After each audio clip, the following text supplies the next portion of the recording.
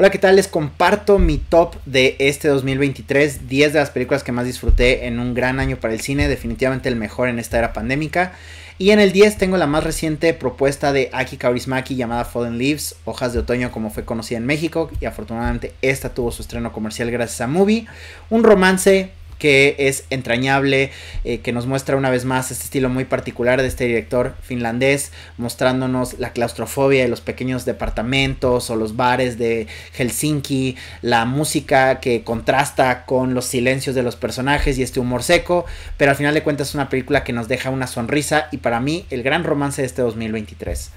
En el número 9 está el documental El Eco de Tatiana Hueso, un documental que una vez más demuestra la sensibilidad de esta gran eh, directora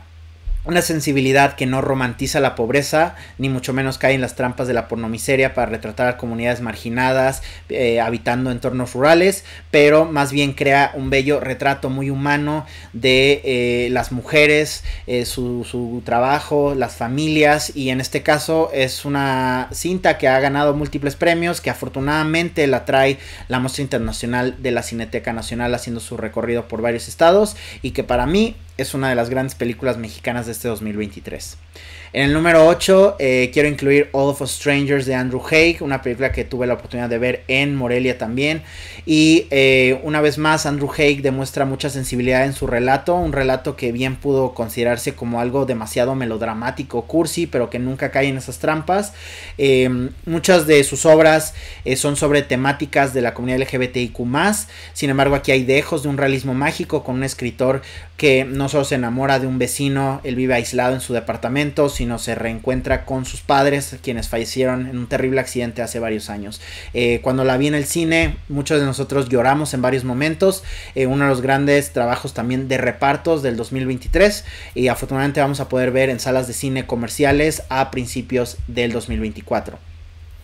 La siguiente película en mi lista es The Holdovers de Alexander Payne. Y hablando de películas navideñas, eh, creo que esta se muy probablemente se va a volver un clásico. El trabajo que hace una vez más reuniéndose con Paul Giamatti de, de Sideways, para mí es extraordinario. Giamatti crea este personaje es sumamente vívido y bien dibujado acerca de un maestro amargado, alcohólico, que es visco, que huele mal, que es muy cínico pero muy inteligente y que está atrapado en esta situación de trabajar en un internado durante la Navidad y cuidando a cinco jóvenes que no pudieron regresar a casa con sus familiares. Una película como típicas películas de Payne con mucho humor, mucho corazón y que yo creo que se va a convertir en un clásico navideño para disfrutar con la familia en los siguientes años subsecuentes.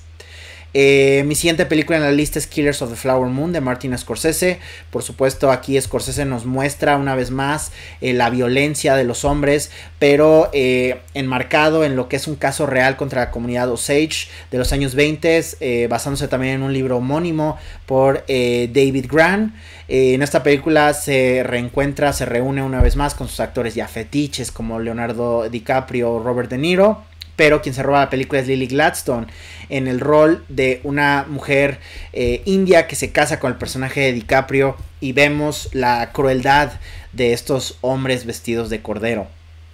En el 5, una película que no creí que iba a incluir llamada The Zone of Interest de Jonathan Glazer, no porque dudara de su calidad, sino porque la verdad es que yo dudaba si incluir una vez más otra cinta sobre el holocausto. Eh, para mí es uno de los tópicos en el cine que ya ha sido retratado, que muestra los horrores eh, y que nos recuerda una vez más de eventos que trágicamente parecen repetirse muy seguido. Entonces no pensaba que yo quisiera ver otra historia más, sin embargo Glazer encuentra una forma brillante de contar los horrores, paradójicamente sin mostrarlos. Eh, nos eh, aterriza junto a una familia de un oficial nazi cuya vida idílica en una residencia justamente al lado del campo de concentración de Auschwitz sirve como en contraste para crear una vida perfecta al lado del horror, la complicidad a través de la apatía genocida. Entonces, para mí, una película que el, público, la audiencia sabe que está viendo los horrores de Auschwitz, pero no necesita verlos. Escuchamos los gritos, los balazos, vemos el humo de las chimeneas, sabemos qué es ese humo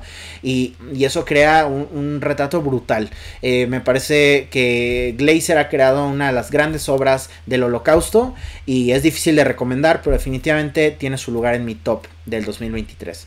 Eh, en el 4, Oppenheimer de Christopher Nolan. Esta propuesta más reciente de Nolan fue emparejada coincidentemente con Barbie, eh, películas muy distintas pero generando un fenómeno llamado Barbenheimer, lo cual les ayudó en las taquillas de ambos. Y para mí Oppenheimer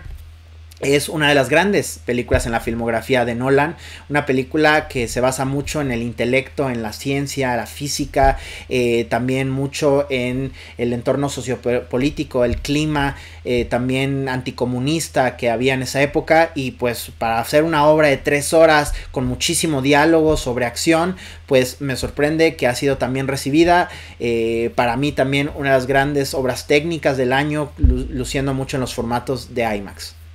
En el número 3 está Spider, Spider-Man Across the Spider-Verse, la secuela al éxito del 2018 Into the Spider-Verse. Y esta película continúa con las aventuras de Miles Morales, continúa con la historia del multiverso, que ah, francamente ya a mí me cansa después de que ya Marvel ha basado sus más recientes fases en esto del multiverso, igualmente DC, también películas eh, como Everything Everywhere at Once, entonces creo que ya está muy trillado el tema, sin embargo creo que los realizadores detrás de Spider-Man Across the Spider-Verse saben cómo manejar una historia muy bien con estos personajes, pero lo que más destaca es el trabajo técnico de la animación.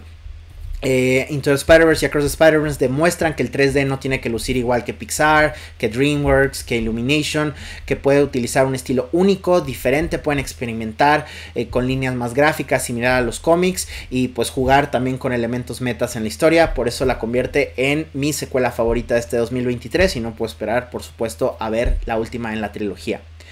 En el número 2, una película que polariza, una película que no creo que se la pueda recomendar a cualquiera, me refiero a la más reciente de Ari Aster llamada Bo is Afraid. Eh, aquí tenemos a un personaje sumamente perturbado eh, que habita su realidad eh, basada en todo lo, perturbado que está su psique, entonces no podemos tener como una semblanza de objetividad cuando vemos a la historia. Y creo que Aster hace cosas muy interesantes, él ya había hecho obras de horror en sus películas previas como Midsommar, Hereditary, pero aquí es un distinto tipo de horror, mucho más profundo, más freudiano, eh, casi también tocando, rayando en el humor negro y el surrealismo. Habrá momentos donde el, público se cuestione qué demonios están viendo, pero creo que es lo que hace que, que, esta película sea algo sumamente memorable en el cine. No, no siempre vamos a ver una película de este presupuesto con esta temática lanzada de manera mundial, eh, comercial en cines, no le fue muy bien, eso ya lo sabemos, pero es el ingenio de Aster, la ambición de la obra, la cual me hace ponerla tan alta en la lista. De hecho, yo pensaba que esta iba a ser mi película favorita, pero ahora les voy a dar mi número uno. En el número uno está Perfect Days de Wim Wenders y creo yo que no veré una película mejor en los siguientes años. Así fue cuánto me gustó esta película cuando la vi también en el Festival Internacional de Cine de Morelia. Es la más reciente de Wim Wenders, quien tuvo una o tiene una filmografía que ha abarcado varias décadas, ha hecho algunos clásicos, sin embargo ha tenido una carrera más enfocada en documental en los últimos años, como el documental de Pina Bausch o el de La Sal de la Tierra, pero aquí se va a Japón, viaja a Japón y nos muestra la vida de un intendente que limpia baños públicos y cómo su rutina de regar plantas, de leer libros, de ir a trabajar y regresar, eh, nos crea unos retratos más humanos que, he visto en años recientes. Y el trabajo de Koji Yakusho, quien ganó el, premio de mejor actor en Cannes, definitivamente demuestran la fortaleza en el personaje, una película que yo considero zen, una eh, francamente de lo mejor del año, eh, de lo mejor de la década también y pues que cierra perfectamente este año que me parece, como bien mencionaba al inicio, como uno de los mejores. Y bueno, esta fue mi lista. ¿Qué piensan ustedes? ¿Ya vieron las películas? ¿Quieren ver algunas? Nos estamos viendo en el 2024.